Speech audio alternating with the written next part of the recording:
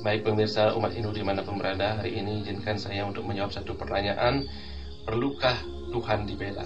Saudara, dalam agama Hindu kita, kita mengenal istilah cadu sakti. Yang disebut dengan cadu sakti adalah Tuhan yang Maha Kuasa, karena Tuhan pemilik alam semesta ini.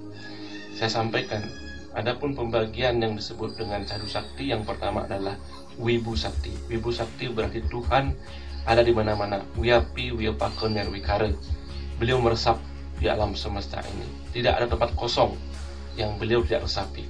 Bahkan dalam diri kita pun ada Tuhan yang ada bersemayam. Begitu juga yang kedua disebut dengan Prabu Sakti. Tuhan yang Maha Kuasa. Beliau adalah Raja di Raja. Beliau adalah penguasa alam semesta ini. Beliau menciptakan, beliau memelihara, dan beliau juga menebur Siti Upeti Pralino. Begitu juga yang ketiga, Tuhan disebut sebagai Jenana Sakti Beliaulah yang kemudian mengetahui segala sesuatu di alam semesta ini, mengetahui masa lalu, mengetahui saat ini, dan mengetahui apa yang akan terjadi pada hari esok. Ini disebut dengan Adite, Nagate, dan Wartamana.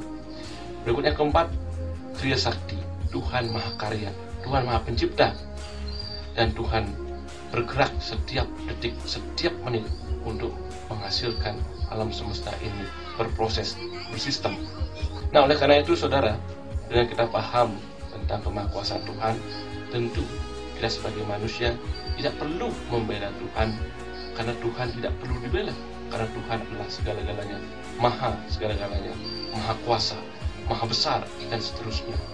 Jadi oleh karena itu, pada umat Dharma, pahami Tuhan secara keseluruhan, pahami Tuhan seutuhnya, jangan pahami Tuhan setengah-setengah karena ketika kita memahami Tuhan yang setengah-setengah, sesungguhnya kita dalam keadaan awidya, sesungguhnya kita dalam keadaan kegelapan, kebodohan.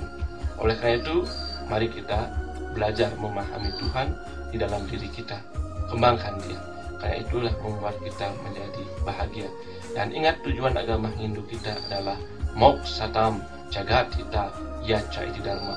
Kebenaran, kebahagiaan, pembebasan, kelepasan karena sesungguhnya kita di dunia ini bukan lahir, bukan meninggal, hanya mengunjungi saja.